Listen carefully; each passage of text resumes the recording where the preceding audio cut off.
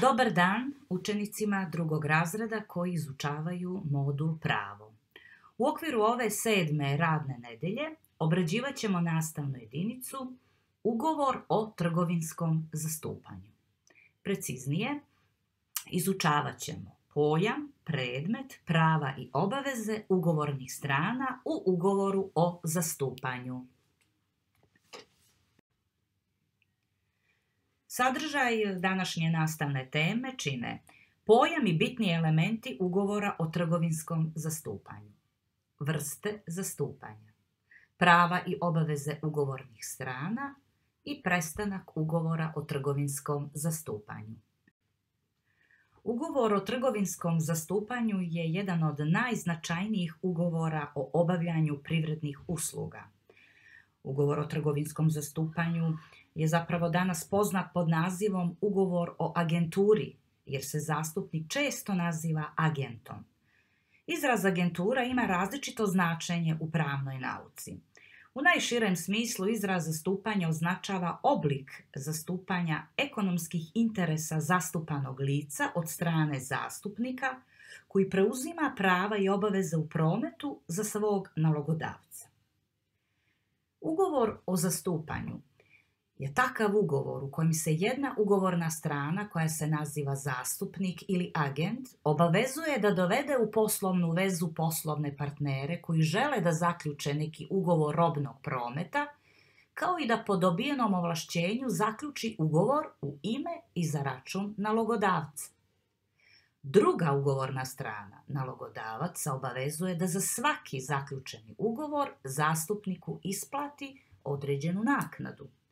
Ugovorne strane su trgovinski zastupnik, odnosno agent, i nalogodavac, to jest zastupano lice.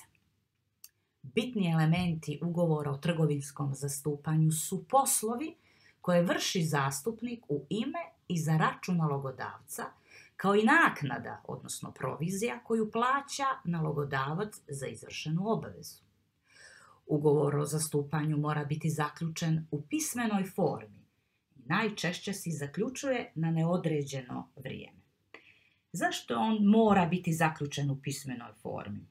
Pa pismena forma je bitna zbog tačnog utvrđivanja obima ovlašćenja zastupnika, naročito je to važno da bi se saznalo da li je zastupnik ovlašćen da zaključi ugovor samo za posredovanje ili, ili on zaključuje recimo ugovor o prodaji. Ugovor o zastupanju najčešće se, kao što sam rekla, zaključuje na neodređeno vrijeme, jer zastupnik i nalogodavac se nalaze u dužim poslovnim odnosima, tako da zastupnik uvijek štiti interese svog nalogodavca. Zastupnik stručnije i jeftinije može da obavlja ove poslove jer u isto vrijeme obavlja poslove za više lica koji su njegovi nalogodavci. Zastupnik isključivo radi na određenom području jednu istu vrstu poslova za jednog nalogodavca, a po odobrenju nalogodavca kog zastupa i za druge. Bez saglasnosti nalogodavca može da obavlja drugu vrstu poslova. Među različitim podjelama najvažnije su podjele zastupništva na generalno zastupništvo, to je zastupništvo za cijelu zemlju ili više zemalja. Dalje, lokalno zastupništvo, kad je zastupnik ovlašćen za zastupanje na određenom području ili određenom mjestu u jednoj zemlji. Postoji i opšte e, zastupništvo, kada je zastupnik ovlašćen da zaključuje sve poslove iz djelatnosti nalogodavca, Zatim posebno zastupništvo kada zastupnik ima ovlašćenja na zaključivanje samo određenih poslova. Obično e, zastupništvo, odnosno običan zastupnik odgovara za savjestan izbor trećih lica i konačno del credere zastupništvo je takav oblik zastupništva u kojem zastupnik odgovara da će treće lice izvršiti svoju ugovornu obavezu. Prava i obaveze ugovornih strana u trgovinskom zastupanju. E, govorili smo da u ugovoru o trgovinskom zastupanju postoje dvije ugovorne strane. To su zastupnik i nalogodavac. Prvo ću objasniti koje su to obaveze zastupnika. Prva obaveza zastupnika je izvršavanje naloga. Zastupnik je u obavezi da postupi u skladu sa dobijenim nalogom, a izuzetno može odstupati, odstupiti od dobijenog naloga samo uz odobrenje nalogodavca i ako je to u interesu nalogodavca. Sljedeća obaveza je staranje o interesima nalogodavca. Šta ova obaveza podrazumijeva? Pa ona podrazumijeva preduzimanje radnji koje su u interesu nalogodavca, a sastoje se u blagovremenom provjeravanju trećih lica, zaključivanju ugovora, isticanju prigovora i tako dalje.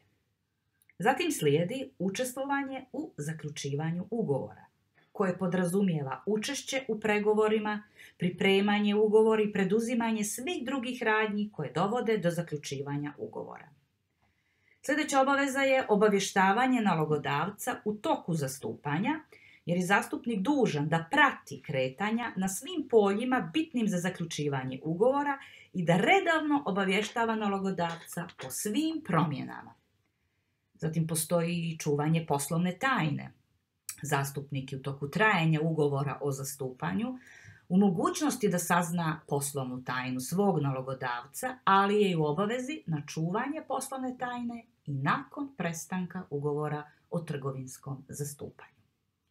Jedna od značajnijih obaveza zastupnika je vođenje zastupničkog dnevnika. Zastupnik je dužan da vodi zastupnički dnevnik, a zastupnički dnevnik je dokaz o zaključenim ugovorima koje je sam zaključio, ali i u čijem posredovanju je učestvovao. Zastupnik sastavlja i izdaje zaključnicu za svaki zaključeni ugovor sa trećim licima. Zaključnica je dokaz o zaključenom ugovoru. Sada ću objasniti obaveze nalogodavca. Evo kao što vidite na slajdu, postoje dvije obaveze nalogodavca. Prva je omogućavanje zastupanja. Zapravo radi se obavezi nalogodavca na saradnju. Nalogodavac treba da omogući zastupniku uspješno obavljanje njegove djelatnosti. On treba da preduzima i druge radnje i da pribavi potrebne isprave koje će zastupniku omogućiti zaključivanje ugovora sa trećim licem. Dužan je da preda zastupniku i svu dokumentaciju i propagandni materijal potreban za posredovanje i zaključivanje poslova. Nalogodavac je dužan da zastupnika na vrijeme upozori na promjene u svojim e, mogućnostima povodom izvršenja posla. Sljedeća obaveza je isplata naknade, odnosno provizije. To je osnovna obaveza nalogodavca da plati, odnosno da isplati naknadu. Visina naknade ili provizije se određuje ugovorom, ali po nekim pravima nije bitan element ugovora. Prema našem pravu, u slučaju da provizija nije utvrđena ugovorom ili tarifom, zastupnik ima pravo na uobičajenu proviziju po nekim mjesnim običajima. Ugovor o trgovinskom zastupanju može da prestane na više načina. Evo jedan od tih načina je recimo raskidom ugovora od strane jedne ugovorne strane. Znači, uglavnom se može raskinuti ugovor zbog neizvršavanja ili povrede ugovornih obaveza, kao na primjer u slučaju neostvarivanja ugovorenog obima poslova, odavanja poslovne tajne, učestalog nek zaključivanja poslova sa trećim licima i tako dalje. Sljedeći način na koji se može, e, na koji zapravo prestaje ugovor o zastupanju jeste otkazom. Dakle, otkazom jedne ili druge ugovorne strane. Svaka strana ima pravo da otkaže ugovor. Zavisno od toga da li je ugovor zaključen na neodređeno ili na određeno vrijeme, regulisan je njegov prestanak otkazom. E, dalje, e, ugovor može da prestane istekom vremena na koje je zaključen ugovor na određeno vrijeme. Ugovor koji je zaključen na određeno vrijeme prestaje, kao što sam rekla, istekom tog vremena i bez otkaza. Ako su strane nastavile, odnosno ako su stranke nastavile da izvršavaju ugovori posle proteka predviđenog vremena, smatra se da je ugovor prečutno produžen za isto vrijeme. Ako je ugovor zaključen na neodređeno vrijeme, svaka strana može otkazati ugovor uz prethodno obavještenje. Inače, prema zakonu o obligacionim odnosima, svaka strana može raskinuti ugovor krajem svakog kalendarskog tromjesečja. Za ovu radnu nedjelju vaš domaći zadatak će se sastojati u sljedećem. Provjerit ćete vaše znanje tako što ćete odgovoriti na kontrolna pitanja. Na ovih pet pitanja odgovor, odgovor mi pošaljite na mail. Hvala na pažnji.